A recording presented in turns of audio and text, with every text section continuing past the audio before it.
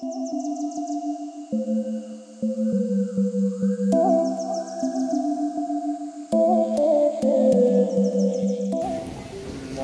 एकदम ज़बरदस्त।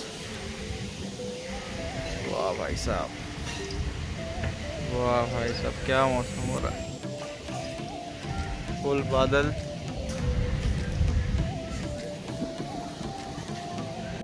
तो व्हाट्सअप गाइस इस एज है welcome back to my channel तो भाई बहुत दिन बाद आ रहा है ब्लॉग एंड व्लॉग आने की देरी के लिए उसके लिए हम चाहते हैं क्षमा. मतलब माफ़ करना है तो बहुत दिन बाद हम व्लॉगिंग कर रहे हैं क्यों कर रहे हैं, उसका भी रीज़न है. फ़र्स्ट ऑफ़ ऑल मौसम यार बहुत ज़बरदस्त हो गया. शॉर्ट देखा होगा. तो यार शॉर्ट अभी आपने देखा होगा मौसम का बहुत अच्छा हो गया. अचानक से मौसम अच्छा हुआ है तो सोचा कि अब ब्लॉग कर ही लिया जाए. एंड भाई साहब तो अब काम की बात करते हैं. काम की बात ये है कि आ, मेरी बाइक में जो इशू था तो वो हमने सॉल्व कर दिया है।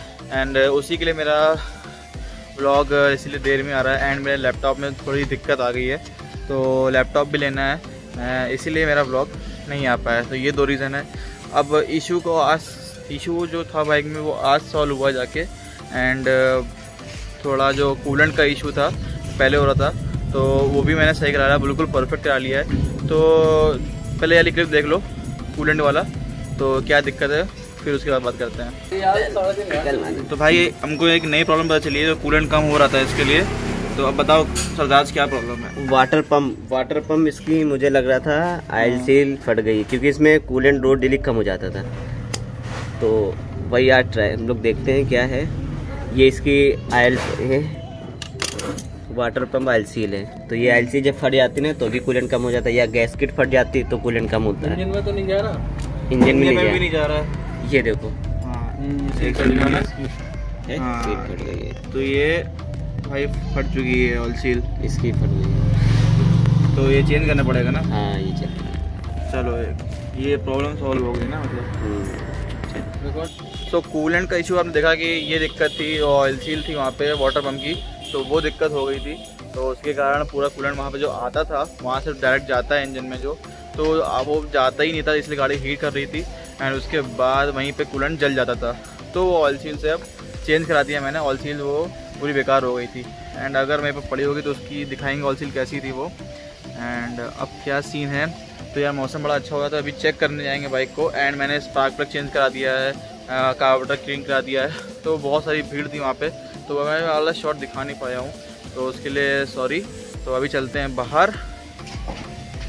तो यार, बाहर चल सकते हैं, लेकिन उसके लिए यार एक दिक्कत है, क्योंकि यूपी में लग लग चुका है लॉकडाउन मतलब कानपुर में लॉकडाउन लग चुका है, बहुत सारे अलग अलग सिटीज़ में एंड तो उसकी अलग अलग टाइमिंग हो गई है लॉकडाउन की। तो थोड़ा दिक्कत हो सकती है, लेकिन हम देखेंगे हाईवे में जाएँगे हाईवे में जाने में कोई भी प्रॉब्लम नहीं होगी। तो उसको कोई दिक्कत नहीं है बस अपनी बाइक को टेस्ट करके जल्दी से वापस आएँगे। तो मुझे लगता नहीं कोई कोई प्रॉब्लम होने वाली है। तो अभी देखते हैं, निकलते हैं। मौसम भाई साहब, बहुत अच्छा हो गया, बहुत ज़्यादा बहुत ज़्यादा अच्छा हो गया।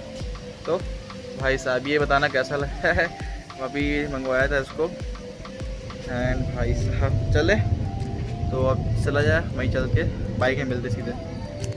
एंड भाई आ, एक जो और प्रॉब्लम बताई थी आपको कि मेरा जो इंजन वाले का लेवल था वो कम हो गया था। तो वो क्यों कम हुआ था? मैंने उसको अभी टॉपअप करा दिया है। वो भी हम चेक करेंगे। एंड लाइट स्मोक भी जो था वो मैं जो बता रहा था वो मुझे दिखा ही नहीं। एंड पता नहीं क्यों कम हुआ है। तो वो वाला जो इशू है वो बाद में देखेंगे अभी टेस्ट करेंगे बाइक को थोड़े दस पंद्रह दिन उसके बाद जाके हम बता पाएँगे कि क्यों हो रहा है। अगर होता है कम तो मुझे लगता है कि जो पिस्टन का पूरा सेट होता है, पूरा ऊपर का हेड होता है क्योंकि एनएस में आरएस में जो पिस्टन होता है, वो अलग से नहीं होता क्योंकि वो हेड के हेड में ही होता है। तो पूरा वो किट मुझे लेनी पड़ेगी, यानी किट वो बहुत महँगी पड़ जाएगी तो मुझे देखना पड़ेगा टेस्ट करके। तो उसके बाद बात करते हैं। चलो, चलते हैं बाइक में। भाई यार, बारिश स्टार्ट हो चुकी है, अगर दिख रहा हो आपको सही से अगर ध्यान से देखो, बारिश पूरी स्टार्ट हो चुकी है बादल यार बहुत ज़्यादा हो गए हैं, काले। वो इधर वो क्लीन बादल है इधर भाई पूरा काला बादल हो चुका है बारिश बहुत ज़्यादा तेज़ स्टार्ट हो गई है। आ, ये देखिए। एंड मुझे देखते हैं अगर टाइम मिलता है चेक करेंगे जाके बाइक को। तो अगर टाइम मिलता है चेक करेंगे क्योंकि देख सकते हैं बारिश शुरू हो चुकी है। एंड बड़ा मज़ा आएगी अगर नहाएँगे तो। देखते हैं। चलो। भाई हम लोग को निकालना था बाइक और निकाल लिए कार हमारे साथ है तनु। दिख तो रहा ही होगा। एंड भाई साहब, पानी बहुत तेज़ हो गया। है दिख रही हो कि सामने पानी बहुत तेज़ हो गया है। तो मज़ा आएगी। थोड़ा सा बस ऐसे ही चिल करने जा रहे हैं। तो भाई साहब, पानी बहुत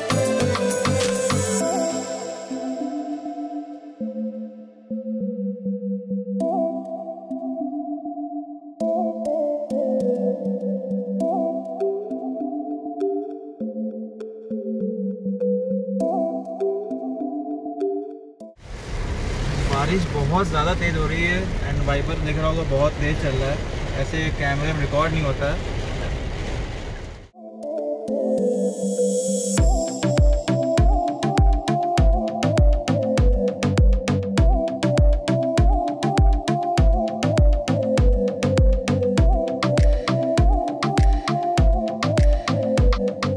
the next day. So good morning friends आज नेक्स्ट डे तो कल बहुत बारिश हो रही थी तो शूट नहीं कर पाए बाइक का। तो अभी दिखाते हैं कि ये ऑयल सील है मेरे पास, जो ख़राब हो गई थी। तो दिखाते हैं क्या। तो गाइस यही ऑयल सील है जो मेरी कट गई थी। तो अभी सही से दिखाते हैं। सो गाइस ये है एंड ये जो थी कट चुकी है, ये दिख रहा होगा अब अच्छे से। तो ये पूरी जा चुकी है अंदर से, पूरी दिख रहा होगा बच्चे ज़्यादा। हाँ। तो अभी आपने देखा कि पूरा ये कटा हुआ है एंड अभी दिखाते हैं इंजन ऑयल का लेवल तो इंजन ऑयल का लेवल मेरे ख्याल से परफेक्ट है, क्योंकि मैंने टॉपअप किया है।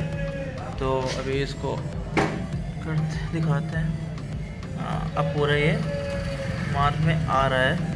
सो अभी कैमरे में अच्छे से नहीं दिख रहा है एंड कूलेंट भी अभी मैंने टेस्ट कर रहा था तो फिर से टेस्ट करने जा रहा हूँ तो दिखा दूँगा फिर से। अब चलते हैं जल्दी से एंड टेस्ट करते हैं बाइक सर अपन आ गए हैं यार कानपुर इलाहाबाद हाईवे में, और अपन ने कर लिया है मोड चेंज जो जो थ्री पे लगा हुआ था तो अब सिक्स पे कर लिया है एंड अब देखते हैं। तो चलो let start the video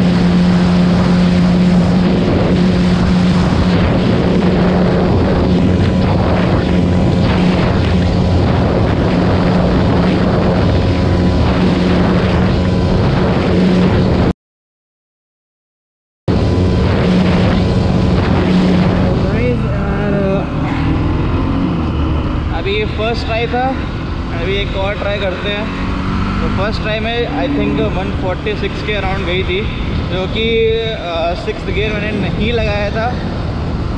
और रियली सच में मानता हूँ, मनानो कि यार, कोई गाड़ी मिस नहीं करी क्योंकि स्पार्क प्लग मैंने चेंज कर दिए थे। स्पार्क प्लग बहुत गंदा था यार। तो अभी यार हाईवे स्टार्ट हो रहा है एंड आगे थोड़ा रश दिख रहा है तो उसको पहले आगे जाते हैं, उसके बाद ट्राई करते हैं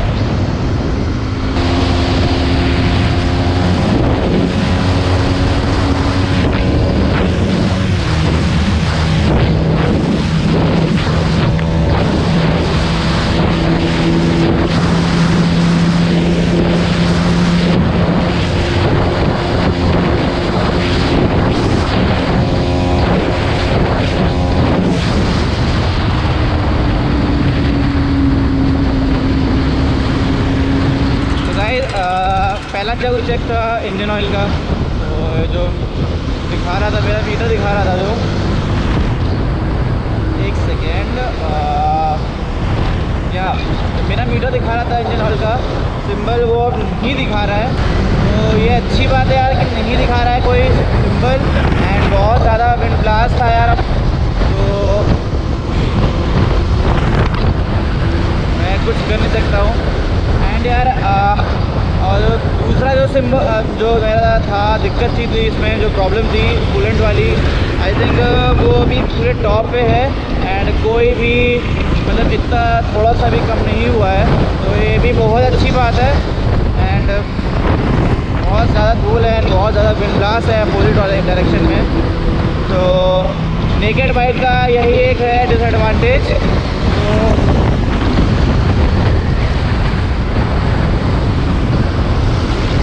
आपने एक बात मतलब मैं बता रहा हूँ आपको कि फिफ्थ गियर में मतलब मैं बता रहा हूँ 150 टच करती है। तो आई थिंक मेरे बाइक में कुछ माइनर प्रॉब्लम है, जिसकी वजह से टॉप स्पीड अचीव नहीं कर पा रही है। तो उसके लिए आई एम रियली सॉरी मैं पहले प्रॉब्लम देखूँगा कि क्या प्रॉब्लम है तो उसके बाद ही मैं बता पाऊँगा।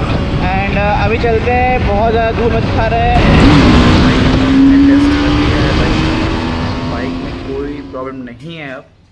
मुझे लगता नहीं है कि कोई प्रॉब्लम बचेगी। एंड जो मेजर प्रॉब्लम थी, वो पूरी हो चुकी है। और अब यार यूपी में बहुत ज़्यादा मतलब स्ट्रिक्ट हो गया है। मतलब कानपुर में बहुत ज़्यादा स्ट्रिक्ट हो गया है। पता नहीं क्यों हो गया है।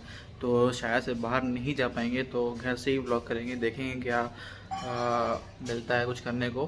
तो अब मुझे लगता नहीं है यार कोई, मेरी बाइक में कोई भी प्रॉब्लम बची है। तो प्रॉब्लम पूरी सॉल्व हो चुकी है। तो बहुत खुशी हो रही है।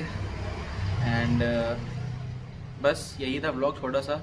तो अगर अच्छा लगा है तो लाइक करो शेयर करो। बहुत ज़्यादा तेज़ धूप थी तो उसी में शूट करने गए थे। एंड बाइक फिफ्थ गियर में थी 146 अचीव करी है। तो आई थिंक ठीक है। एंड बहुत ज़्यादा विंड ब्लास्ट भी आ रहा था उसके लिए। तो चलो आई होप कि कि आपको वाला वीडियो अच्छा लगा हो अगर अच्छा लगा है तो यार लाइक करो शेयर करो कमेंट करो एंड बताओ कि कैसा लगा। एंड कुछ सीखने को मिला हो तो बताना ज़रूर।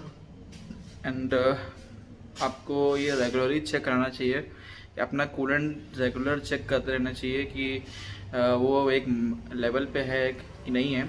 एंड uh, उसके साथ साथ इंजन ऑयल का लेवल भी चेक करते रहना चाहिए। क्योंकि अभी अभी हम लोग ध्यान नहीं देते हैं कि ये सर्विस ड्यू हो जाती है एंड देखते नहीं है कि क्या रीज़न था इसका भी पीछे कि क्यों मेरा कम हो गया। तो मैंने शायद ध्यान नहीं दिया था, मेरी सर्विस का टाइम हो गया बाइक का। तो इसलिए मेरा लेवल कम हो गया। चलो, मिलते हैं नेक्स्ट वीडियो में। Till then bye bye take care be safe